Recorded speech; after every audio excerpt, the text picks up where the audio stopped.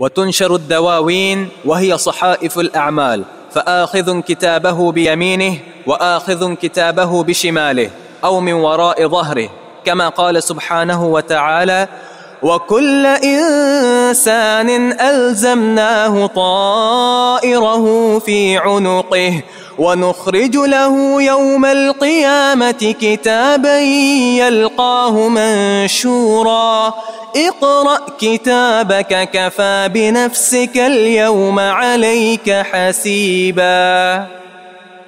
وتنشر الدواوین register پھیلا دیے جائیں گے اور کھول دیے جائیں گے. یہ رجسٹر کیا ہے؟ ہر بندے کا صحیفہ عمل، جو اس کا اعمال نامہ ہے، وہی ہے، صحائف الاعمال. جب تک بندہ زندہ ہے، فرشتے لکھ رہے نیکیاں بھی، گناہ بھی، یہ دو دیوان ہوں گے ہر بندے کے. ایک نیکی کا اور ایک گناہوں کا۔ جب انسان جب تک زندہ ہے، فرشتے نوٹ کر رہے ہیں۔ اور جب انسان مر جائے گا، تو فرشتے ان دواوین کو لپیٹ دیں گے اور لپیٹ کر اس انسان کے گلے میں حمائل کر دیں گے۔ گلے میں لٹکا دیں گے۔ اب وہ شخص ان صحیفوں کو قبر میں لے کر جائے گا۔ قیامت تک ساتھ رہیں گے۔ جب قیامت قائم ہوگی، تو اپنے صحیف کو لے کر نکلے گا۔ اپنے ساتھ۔ یہ صحیفے کھول دیے جائیں گے قیامت کے دن۔ تن شر ادواوین رجسٹروں کو کھول دیا جائے گا، پھیلا دیا جائے گا۔ اور دواوین کیا ہیں؟ صحائف الاعمال، اعمال کے صحیفے۔ فآخذ کتاب و یمین ہے کچھ لوگ اپنا صحیفہ وصول کریں گے اپنے دائیں ہاتھ میں جو کامیاب ہوں گے۔ وہ آخذ کتاب و بے شمار اور کچھ لوگ بائیں ہاتھ میں جو کہ ناکام ہوں گے، اور کچھ اور بد نصیب ہوں گے۔ اور ورائے ظاہر جن کو ان کا اعمال نامہ دیا جائے گا۔ پشت پیچھے سے، ان کے ہاتھ کو بائیں کو لپیٹ دیا جائے گا اور پشت کی طرف ان کے ہاتھ کو کھینچ دیا جائے گا اور اس طرح ان کے اعمال نامہ ان کے ہاتھ میں تھمایا جائے گا۔ کما قال سبحان و تعالی بک اللہ انسان الزمنا طائرہ فی عنوق ہر انسان، یہاں طائرہ سمجھ مطلب اس کا عمل۔ ہم نے ہر انسان کے عمل کو اس کی گردن میں حمائل کر دیا ہے، اس کی گردن میں ڈال دیا ہے۔ بنخج یوم القیامہ کتاب یلقاہ منشورہ اور قیامت کے دن اس کی کتاب کو نکالیں گے، اس کے صحیفے کو، اعمال نامے کو، جس کو وہ پائے گا، کھلا ہوا۔ اقرا کتاب کا پڑھ لے اپنے کتاب کو، اپنے اعمال نامے کو۔ کفا نفس کر یوم علیہ کا حسیبہ آج اپنے نفس کے حساب کے لیے تو خود ہی کافی ہے۔ خود ہی پڑھ لے۔ کہ نیکیاں کتنے، گناہ کتنے۔ اپنے حساب کے لیے تو خود ہی کافی ہے۔ تو یہ ان صحیفوں میں اپنی پوری کمائی نظر آ جائے گی، پوری کرتوتیں نظر آ جائیں گی۔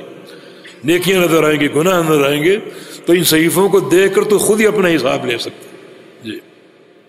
ويحاسب الله الخلائق ويخلو بعبده المؤمن فيقرره بذنوبه كما وصف ذلك في الكتاب والسنة واما الكفار فلا يحاسبون محاسبه من توزن حسناته وسيئاته فانه لا حسنات لهم ولكن تعد اعمالهم فتحصى فيوقفون عليها ويقررون بها ويجزون عليها. احسنت ويحاسب الله الخلائق. اللہ تعالی مخلوقات سے حساب لے گا. مخلوقات سے حساب لے گا. اور حساب کی ایک قسم فرما کہ یخلو عبد المؤمن اپنے مومن بندے کو خلوت میں لے لے گا. مومن بندے کو اللہ تعالیٰ خلوت میں لے لے گا.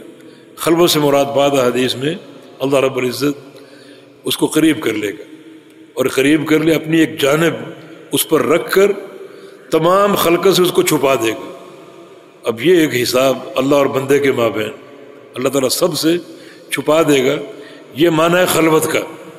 فیقر رحو ذنوب ہی اور سرگوشیاں کر کے اللہ تعالیٰ اس کے گناہوں کو اس سے اقرار لے گا کہ میرے بندے تو نے فلاں گناہ کیا تھا، فلاں گناہ کیا تھا۔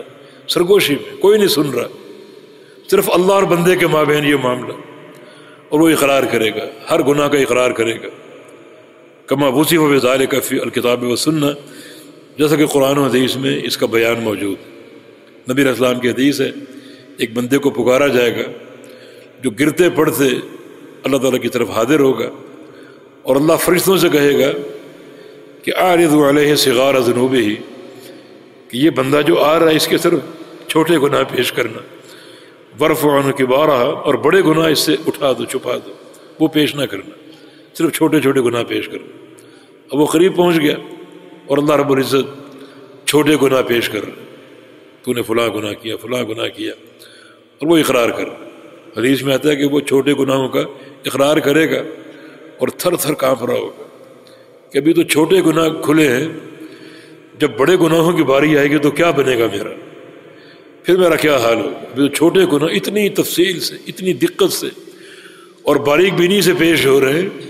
چھوٹے گناہوں کا اقرار کرے گا اور بڑے گناہوں کی حیبت سے کانپ رہا ہوگا۔ جب اللہ رب العزت سارے چھوٹے گناہ پیش کر دے گا تو اللہ فرشتوں کو حکم دے گا، اجعلوہا حسنات۔ ان تمام گناہوں کو نیکیاں بنا دو۔ ان تمام گناہوں کو نیکیاں بنا دو۔ اب وہ بندہ حیران۔ نبی علیہ السلام فرمایا کہ یہ بندہ جو کانپ رہا تھا، تھر تھر کانپ رہا تھا، اچانک اس میں ایک جرت پیدا ہو جائے گی۔ اور کہے گا، یا اللہ، کچھ گناہ میرے اور بھی تھے، وہ کہاں ہیں؟ ابو ذر غفاری اس کے راوی ہیں۔ فرماتے ہیں کہ اللہ کے نبی صلی اللہ علیہ وسلم یہ جملہ ادا کر کے ہنسے، کھل کھلا کے ہنسے، حتیٰ کہ ہم نے نبی علیہ السلام کی داڑھیں دیکھ لی۔ تو یہ بھی ایک حساب و کتاب کی کیفیت، اللہ رب العزت اپنے مومن بندوں کو اس طرح قریب کر لے گا اور اللہ رب العزت اس طرح ان کا حساب لے گا۔ اور قرآن پاک نے یہ بتایا ہے کہ اللہ تعالیٰ کن بندوں کے گناہوں کو نیکیاں بنائے۔ گا اللہ منتاب و آمن و امیر عمل صالح و کا یبد اللہ سیاد حسنات۔ جو بندہ توبہ کر لے ایک بار، اس پر قائم ہو جائے۔ وہ آمن اور ایمان لے۔ بڑا پختہ اور قوی توحید کے ساتھ ایمان لے آئے۔ وہ امیر عمل صالح اور نیک عمل شروع کر دے۔ تو پھر سابقہ زندگی کی جو گناہ ہیں، اللہ تعالیٰ اس استقامت پر اس بندے کی جو گناہ ہیں، ان کو نیکیاں بنا دے۔ تو ایک تو وہ بندے جن کے گناہ معاف ہی نہیں ہوتے، دوسرے وہ جن کے گناہ معاف ہو جاتے، اور تیسرے وہ خوش نصیب جن کے گناہوں کو اللہ تعالیٰ نیکیاں بنا دیتے، اور ان کے گناہ ان پر نیکیاں بن جاتے۔ تو یہ منہج توبہ سچا عقیدہ اور عمل صالح۔ یہ تین چیزیں اگر دوام کے ساتھ انسان اپنا لے، تو اللہ اس کے گناہوں کو نیکیاں بنا دے گا۔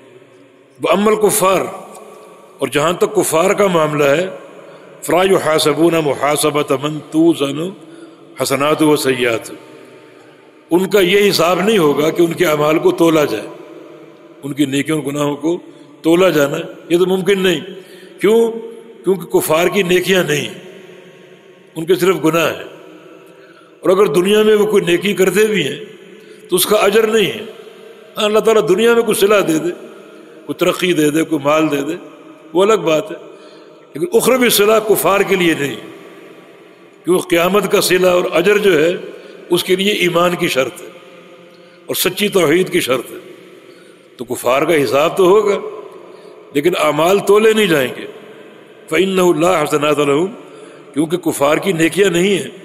بلاکن تو عد و اعمال ہوں فتح سا ان کے اعمال کو شمار کیا جائے گا، گنا جائے گا۔